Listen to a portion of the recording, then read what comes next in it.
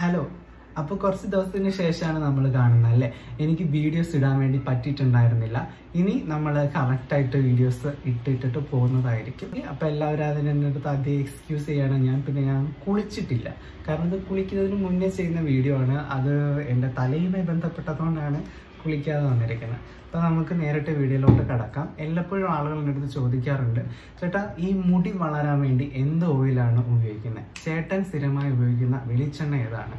സത്യം പറഞ്ഞാൽ ഞാൻ തലയിൽ സ്ഥിരമായിട്ട് വെളിച്ചെണ്ണ ഉപയോഗിക്കാറില്ല. ഞാൻ ആഴ്ചയിൽ ഞായറാഴ്ച ദിവസങ്ങളിലാണ് തലയിൽ എണ്ണ ഇടുന്നത്.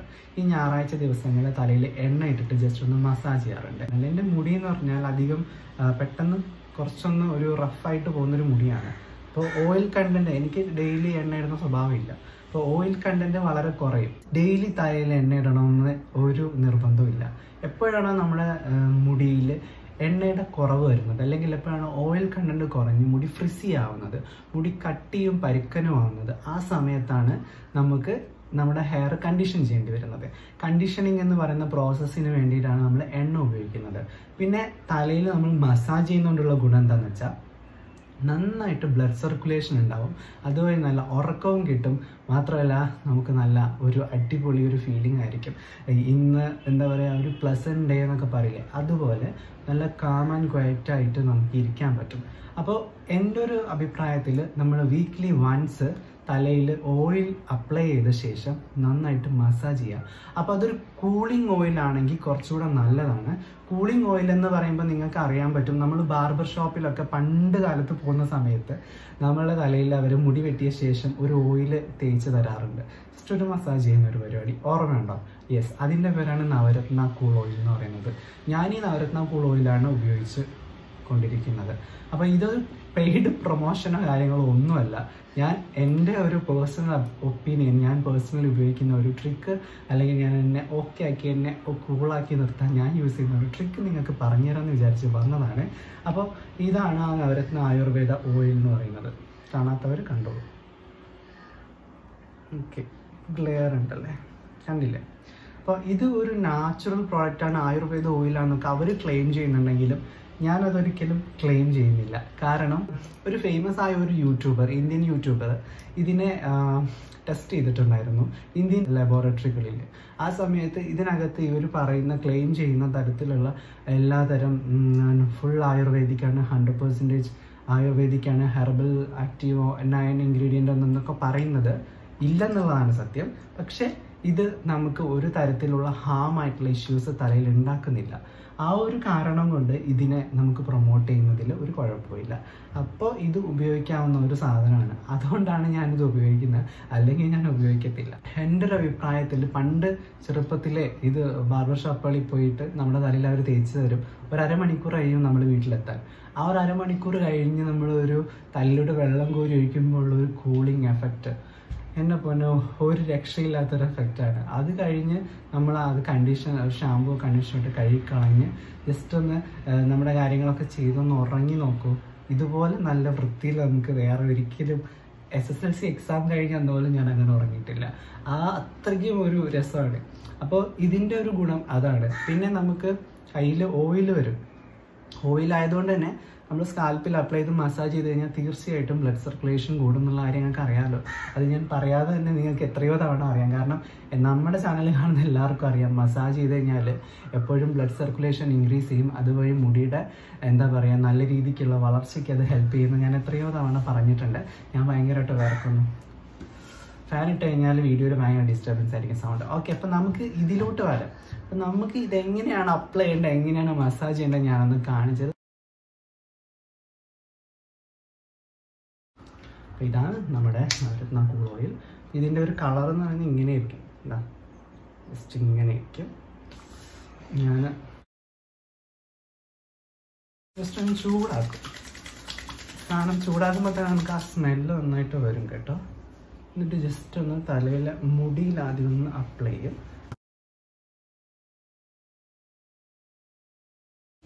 ആ വീണ്ടും നമ്മൾ ഉള്ളിലോട്ട് അപ്ലൈ ചെയ്യണേ. കണ്ടോ? ഇങ്ങനെ അപ്ലൈ ചെയ്ത് വിടാം.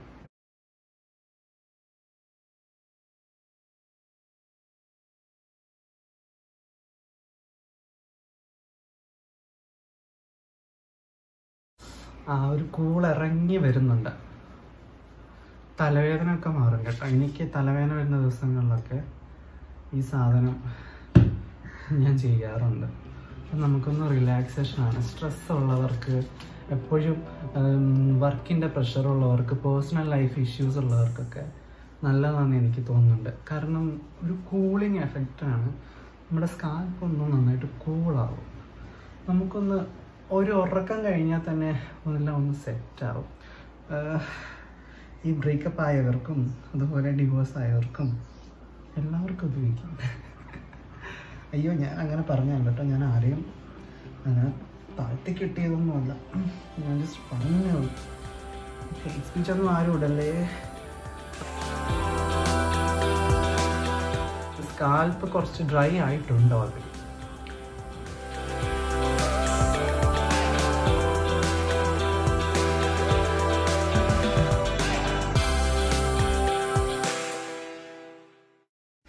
ഓക്കെ അപ്പം ഞാനിപ്പോൾ ഓൾമോസ്റ്റ് ഒരു ടെൻ മിനിറ്റ്സ് ആയിട്ട് ഞാൻ മസാജ് ചെയ്തുകൊണ്ടിരിക്കുകയായിരുന്നു.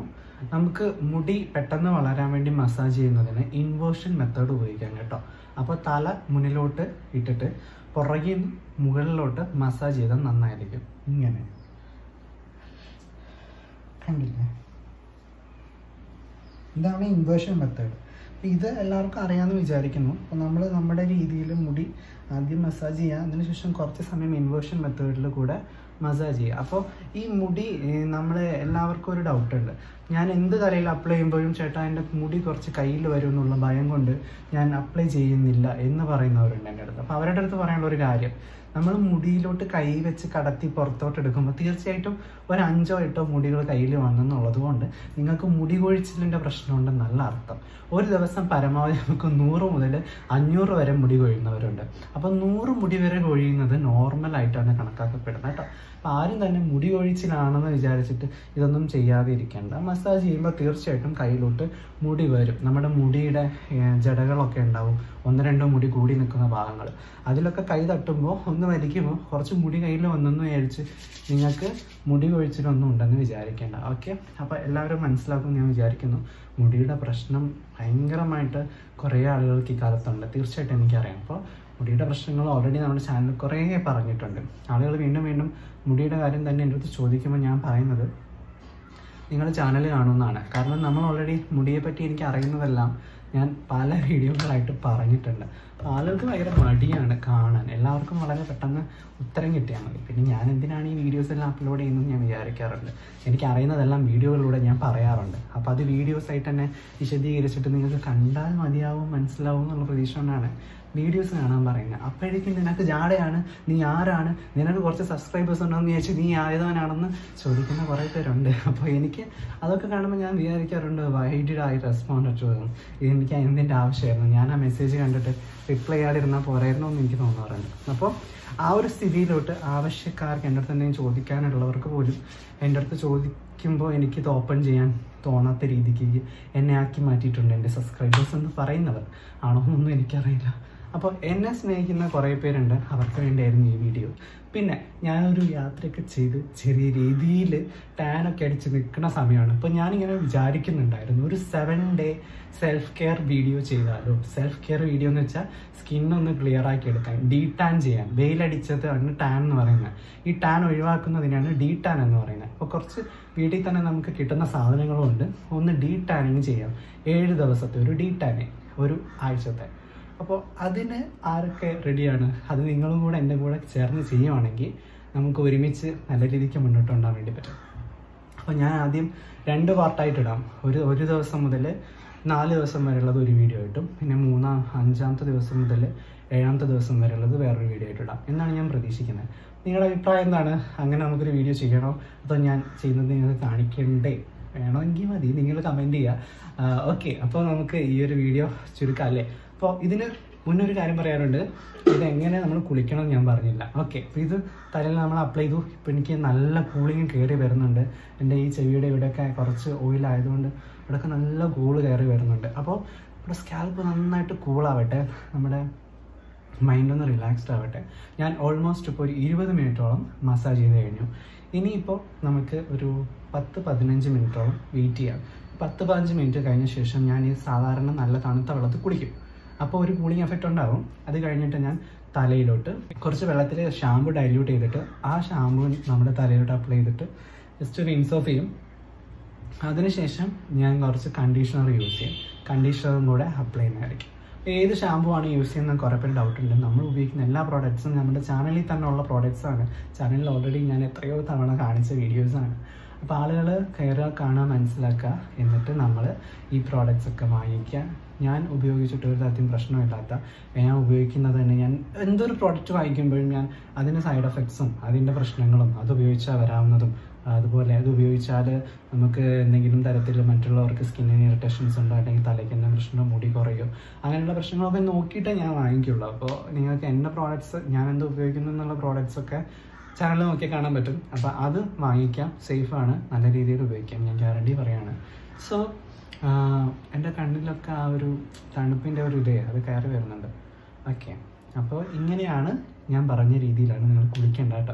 അപ്പോൾ ഈ കുളിയൊക്കെ കഴിഞ്ഞ് നല്ല രീതിക്ക് വിസ്തരിച്ച് ഒരു കുളിയൊക്കെ പാസ്സാക്കി കഴിഞ്ഞ് ഒന്ന് ഫ്രഷായിട്ട് മൈൻഡൊക്കെ റിലാക്സ് ചെയ്തിട്ട് എന്ത് ചെയ്യാം?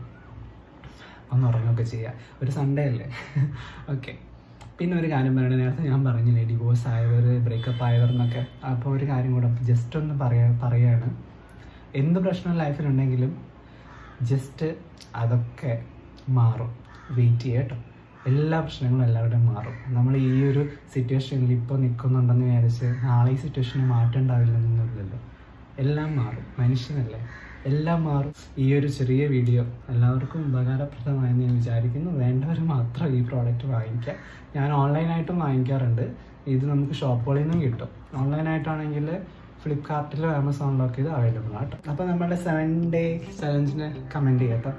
അപ്പോൾ ഈ വീഡിയോ നിങ്ങൾക്ക് ഇഷ്ടപ്പെട്ടു എന്ന് ഞാൻ വിചാരിക്കുന്നു. ഇനിയും ഇതുപോലെയുള്ള വീഡിയോകളായിട്ട് നിങ്ങളുടെ മുന്നിൽ വരുന്നതായിരിക്കും. സബ്സ്ക്രൈബ്